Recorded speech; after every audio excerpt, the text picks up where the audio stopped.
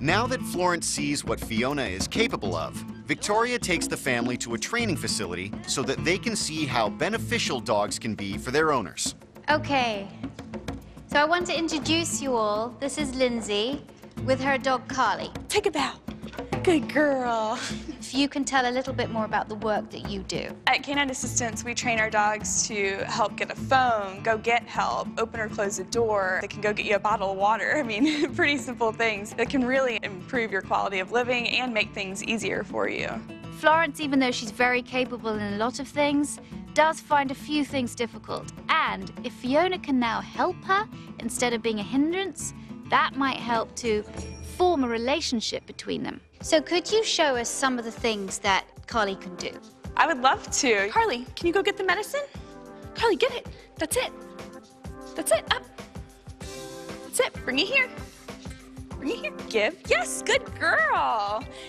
I had never seen a dog do the things that Carly did. I was very surprised and I was very impressed. I would like to be able to help Fiona and train her on some basics. So we're going to start the process. Seeing some of the things that Carly demonstrated was was amazing. It was nice to see. But at the same time, in the back of my mind, I was thinking there's no way that Fiona can do some of those things. Victoria begins the long process of teaching a retrieval with a basic touch command. What I'm going to do is I'm going to bring the dumbbell from behind my back and I'm going to show it to her. And when she goes towards that object and touches it with her nose, she gets a treat.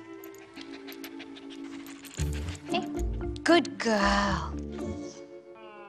I let her touch it with her nose. And then I take it behind my back again. Good girl. Touch. Good girl. Victoria repeats this process several times to get Fiona used to touching the dumbbell. Okay, so now you can see that it's in her brain. After Fiona had learnt to touch the dumbbell with her nose, I began to put the dumbbell in different positions, so Fiona would have to travel further to get to it. Touch. Good girl. Okay, go. Touch. Yes, good girl. With Fiona used to the dumbbell, Victoria gets Todd and Jessica involved in the process. Touch. Good girl. Touch. Good girl. Now it's Florence's turn. Fiona can sense Florence really doesn't want to have anything much to do with her, so when Florence takes over the training, that's going to be hard to get Fiona to listen. Okay, get her attention. Fiona, touch. Okay, good girl. Good, beautiful. I have no doubt in my mind that life for my mother would be easier if Fiona could keep her company as well as help her out with small tasks around the house. Okay, so that is enough for now. That's the first stages. Now we go to the next stage in a little while where she needs to be able to put her mouth over the dumbbell. Okay? Good work. All right, let's go. Now I want to teach the second part of the retrieve. I'm going to get down on the floor with Fiona because I want to teach her to take things and then drop them.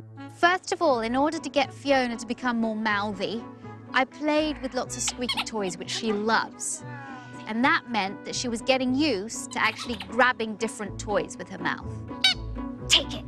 Good girl. Drop it. Take it. Good. I've exchanged it with another toy. Oh, what's that? What's that? Here. What's that? What's that? I then introduced the dumbbell.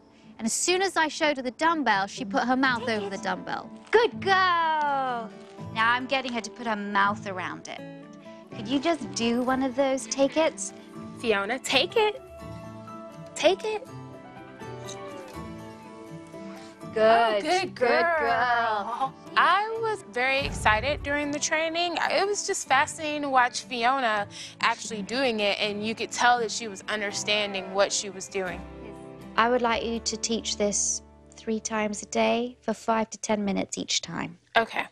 I want you to get to the point where she's actually put her mouth on the dumbbell and she's picking it up. Mm-hmm. No further than that. Okay. I'm so impressed with the speed that Fiona's learning at. Teaching a retrieve to a dog does not happen overnight.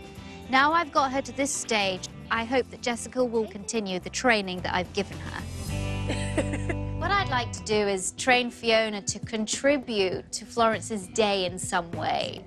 And fetching medicine bottles is a good thing, and I think it's something that Fiona could definitely do. Take it. Good. Good girl. Take it. Good girl.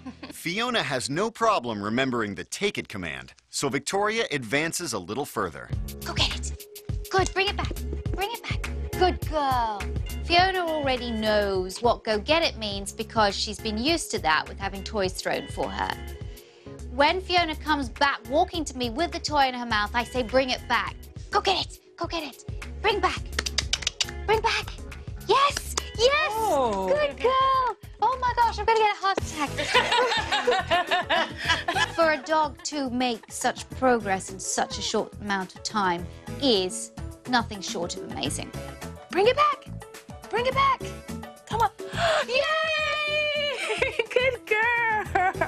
To see Fiona learn something and process it and move to the next stage of something, to really see her pick up a task is very satisfying.